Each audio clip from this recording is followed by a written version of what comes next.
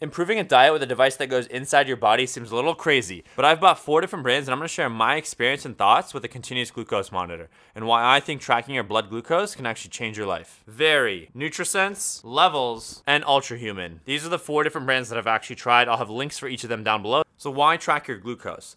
I realized that I didn't really fully understand how the food I eat impacts my glucose levels and my energy throughout the day. So I decided to put this device in and really get a tight feedback loop in terms of when I eat something and then understanding within a couple of hours, did that spike my glucose? Did it make me go up and then crash afterwards? Right, and with that information, I could better understand how can I keep my energy sustained throughout the day why minimizing eating certain foods, changing the order of how I eat my foods, walking after my meals, and a whole bunch of other things. And it didn't hurt that Kevin O'Leary on the Impulsive podcast talked about how he used the CGM to lose 22 pounds and just change his productivity throughout the day. What's crazy is he also wears a Whoop and Oura strap as well. We're pretty much the same person. Except he does have a lot more money, so make sure to subscribe and turn on your notifications so that way I can keep running this channel. Now, what should you expect from all these brands? So they all come in their little fancy boxes. We've got Levels here, we've got NutriSense here, and Veri here. What's interesting is the boxes get smaller. I don't know why.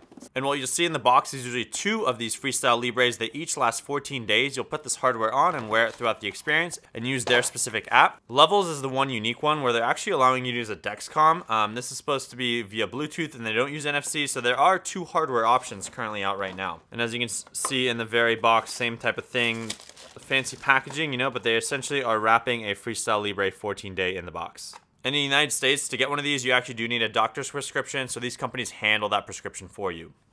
And then on top of the Dexcom or the Freestyle Libre, you will wear a patch. These are kind of the active patches. I highly recommend wearing these if you work out a lot, which I'm assuming most people who buy these products do. They're also relatively similar, slightly different designs. They all have kind of a circle in the middle and then sticky around this the sides. So when you're sweating, this will stay on your body. It's supposed to last around 14 days. Um, I still have had mine fall off where I slide up against a door or if I'm swimming too fast. You're essentially going to be providing free marketing for them by placing this sticker on your arm. Which I think is genius on their part, but also it can look cool. You know, I've made a lot of friends by seeing the level stickers on their arms. Honestly, if you keep watching my videos, you might run out of money, so maybe stop watching. And how do you install it? You will essentially shave essentially what I do is I will shower, I will shave the area, and then I will clean it with an alcohol swab. I will install the device, which boom, you sticks a needle in you, the filament goes inside, needle gets removed, and then it's installed. I put the sticker over it. Uh, and then you're good to go and you set up the everything else through the app. And then once it's installed, this is kind of what it looks like. It will stick a needle inside of you and then insert this filament. The needle then gets removed. So there's no actual like needle inside of you for the entire experience, but there is a filament. The filament is flexible, so like you can like play with it and move it. Um, that will be inside of you. It'll measure your interstitial glucose, which is not your blood glucose, but it's relatively close and it can be delayed by 15 to 20 minutes. Um, and then this sensor will just live on top of your arm and you can scan it with the NFC on your iPhone. This is kind of what the sticker looks like after 14 days of use. It's gotten a little bit of damage there. It is a little bit gross. Sometimes there can be blood on it, but today we got lucky. Or should I say you got lucky? And then you will toss this out. So in terms of the hardware experience, all of them use a Freestyle Libre. Levels is the only one that actually incorporates your choice, which is the Dexcom or the Freestyle Libre. But overall, the hardware is essentially the same. Accuracy is all dependent on these hardware companies that are building these medical devices that are meant for diabetics. But when you buy it through these companies, you're using it for health optimization and they are not providing any kind of medical advice and neither am I. I'm not a doctor. I'm just a YouTuber. Don't trust people on the internet, okay? There is one difference that NutriSense has. They do have kind of a calibration feature. Now, what I do recommend is that you spend more money because you're watching this channel, but you do buy a Keto Mojo. This is a blood prick device. This will measure your actual blood glucose. What you do is you take this device and you prick your finger, you get a little bit of blood, and then you put it inside of the Keto Mojo and it will tell your actual blood glucose values. Then you can use that number to calibrate the CGM. NutriSense is the only one that allows you to calibrate it within the app and they do recommend it right here. You can talk about manual calibration. Now what happens when it's time for the software? So that's where they differentiate. Their apps are different, the scanning, the inputting of food is all different. These are the three different apps. This is kind of what they look like. And this is the homepage of each app. What's interesting is the kind of overall user experience. I would say NutriSense is kind of more on the data heavy end. It's got tons of graphs, tons of information, and it gives you a whole bunch of data that can be a little bit overwhelming at times, but it's there and it's interesting. Uh, I really like it. Levels is probably the next most complicated. Same thing, they provide graphs, but they try to kind of create this overall stable percentage, stable hours right here. This is just trying to tell you to avoid spikes. Exercise spikes are okay. Um, and I do kind of like that experience. It, it kind of brings the focus to this main percentage up here. And it's kind of like how are you performing overall throughout the day. And this bar will fill up throughout the day. And then I can see the food that I'm eating and the activity I've done as well. And then Veri is the most, I would say, user-friendly. Um, if you are new to CGMs, new to data, this is the one that I recommend just because the experience just feels very nice. I've got the activities, the food that I've eaten, and then my sleep as well. Um, they just make it super simple. They don't try to overwhelm you, and I love that the numbers are there and the colors are easy to understand. Now, the most important thing comes to scanning. So, how do you scan? Uh, when it comes to the Veri app, you essentially open the app and you press this button here, and then it will allow you to scan. My sensor has expired. So Levels is the one unique thing where they actually don't provide a way to scan within inside of their app. You actually have to download the Freestyle Libre Link app from Abbott Labs, and then you can go ahead and set it up and scan your sensor here with NFC and you have to connect the Freestyle Libre, and then you have to go ahead and connect this app to the Levels app through their like kinetic connected apps cloud feature, and then the data from here will sync to Levels. Sometimes it can take time, so you can tap here, tap sync now, um, and then you'll get that fresh new data. But it does require two apps, which is a little frustrating. I hope they fix this experience soon. Next is the NutriSense app. In terms of scanning, is a little frustrating because you actually have to go to the homepage, press the plus sign, press scan. So it requires two taps, and then you can scan. Whereas the Veri app is like you open, press scan. Libre app, press scan. This is like two taps. It's just an extra tap. But what I do like that NutriSense has is the press and hold. And you can actually scan straight from their app shortcuts. Most people don't use these, but that's there. You can just press that. Boom. So the first step is scanning. You have to scan it every eight hours because if you miss that scan, you'll lose some data. I do sometimes lay in bed for like eight to 10 hours, 12 hours because I'm lazy and I will miss some data overnight. That's totally fine, but it did feel a little anxiety inducing and frustrating because I was like, I need every single piece of data. Uh, but that's something to keep in mind is that you might lose a little bit of data. Be fine with it. Don't let this app cause more anxiety. Next is logging food. So how do you log food? In terms of logging food, you go ahead and app meal on the Veri app. You type in what you want. You can also add from favorites. So if there are past things that you added, um, you'll add it. If you want to change the time, you go ahead and tap the time and you can scroll and change the time. You can change the date if you forgot to add it. I've noticed that it's really easy just to add the meal as you're eating it. Sometimes I do forget, so I'll add it later on. But if you do add it at the moment, you don't have to change the time and the date, and it just saves you a whole bunch of stuff.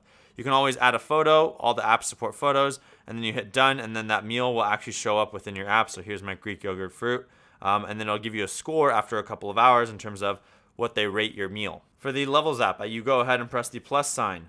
So what's nice about the Levels app is they give you your previous ones so I can add those with one tap. I don't have to tap into a menu or anything. I love that they make it super easy. I think the Levels app can sometimes be the easiest one in terms of logging food. I'll typically skip and then I'll say what I'm having and then I hit save. So, you know, three taps right there. It is pretty much similar and on par with the Veri app. I avoid, I used to add photos, but I kind of got lazy and stopped adding photos. If there are recent meals that you eat consistently, it's super easy just to add it right there.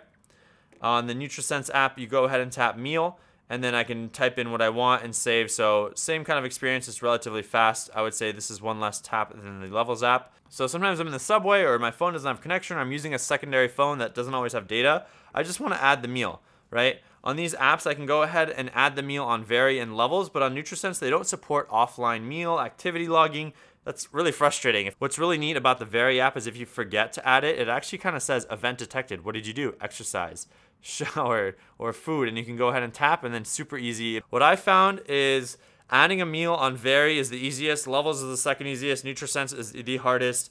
Um, data wise, right, NutriSense gives you the most data, most charts, most analytical. Levels is the middle. Uh, I like the middle ground. And then Veri is kind of the most simple and easy to understand user experience, very colorful and friendly. What's really nice is I use Apple Health. So all of my activities and workouts will just automatically import into all of these apps. And I don't have to worry about that. But if you don't have an Apple Watch or any kind of device that puts your activity data into Apple Health, you'll have to manually do it. Getting a CGM, I highly recommend is like your second wearable. Always start with a fitness sleep tracker first, like one that ideally does both. I recommend the Apple Watch, you know, the Whoop and the Oura Ring are also great options.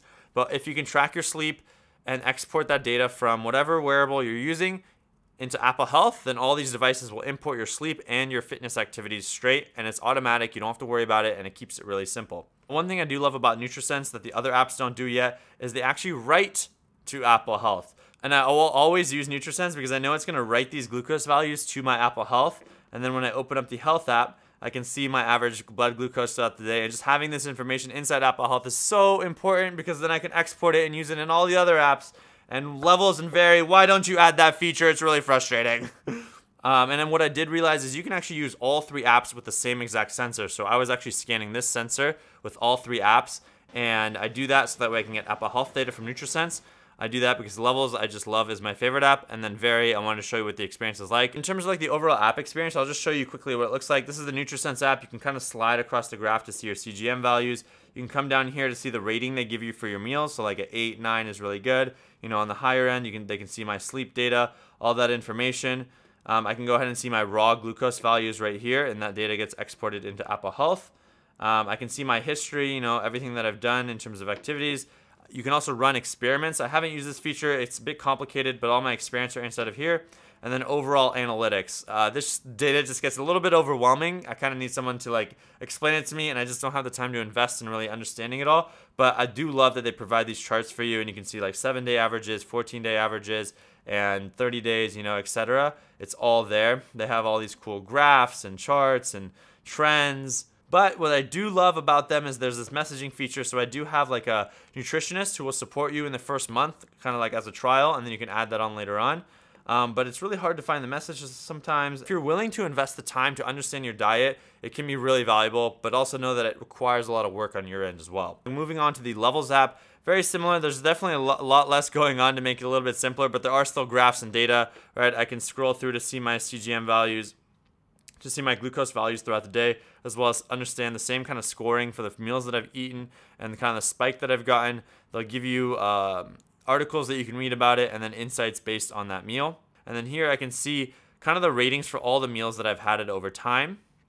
Um, you can see kind of the tens and then I can filter, I can search and understand like, okay, was this meal bad for me? Like I love In-N-Out. Looks like I had a stable response, but that I love that they all make it really simple to understand kind of the rating behind your meal. Levels will also send you like a daily metabolic report, which gives you kind of like overall highlights in your emails as well as like the metrics and how the foods that you ate impacted your blood glucose levels. So I think that's really neat. I already get way too many emails, so I struggle to read these. As, as you can see, they're pretty unread. But I do love, like, this is the old report, what it looked like. I do love that they kind of categorize, hey, this food is kind of like bad because it spiked your glucose, and this food is good because it didn't spike your glucose. So just having that kind of dashboard style, tight feedback loop is really valuable. Um, and then I can see kind of days over time, the spikes that I had on what days and how long these spikes lasted for. So this is just the drive behavior change, right? Understanding why are you spiking and is the spike good or bad? If it's bad, how do I minimize it? And then finally, Veri. So Veri is definitely the most user-friendly app for any kind of person that hasn't really got involved in the data biohacking scene. Um, they make it super easy if you have different spikes, like, hey, what's the event?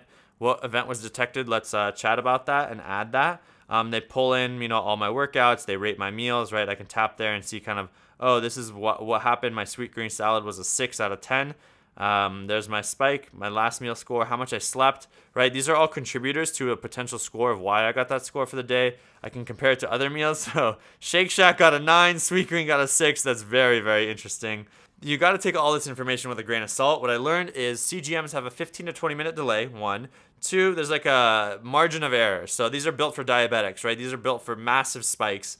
And if you're using this for a very fine tuning health optimization, be mindful that this hardware was not built for that type of thing. Um, I can go through all my days and you can see that it's pulled in all this data. My ice cream was an 8, but a Chipotle was a 6. It pulls in my body weight. Now you know how heavy I am.